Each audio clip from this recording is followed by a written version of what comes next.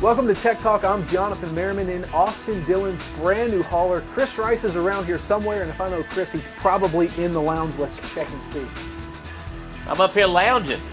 I'm not in the lounge anymore. This brand new hauler that Austin Dillon has is not, it's not your typical lounge. This is a command center.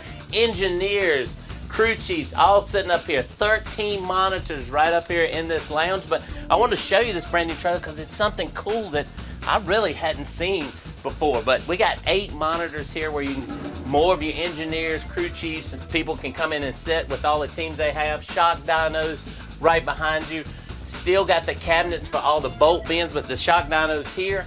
Still got all the cabinets for everything, all your spare parts that you might need right here. But one crucial thing we still have, we still have our little kitchen with our refrigerator because RC's got to come in and get his um, he got to come and get his coffee, but also you have a lot of crew members. They have their own cabinets right at the back, so they're able to get right inside of them, put all their personal needs in them. Also radios, so it's a lot of stuff that we put inside these haulers each and every weekend to go and make a race. But we can't forget the cars. We have to put two cars above all of this stuff. So we're standing on the lift gate, Jonathan, to where we bring the cars up, roll them right in. And you guys take pride in your cars and how good they look. But these trucks, I mean, they're wrapped from front to back. They're always clean. How much work goes into getting these things ready? Well, it's a lot of work goes into them. You see the Menards trailer right beside us. It's a big wrap that goes on them.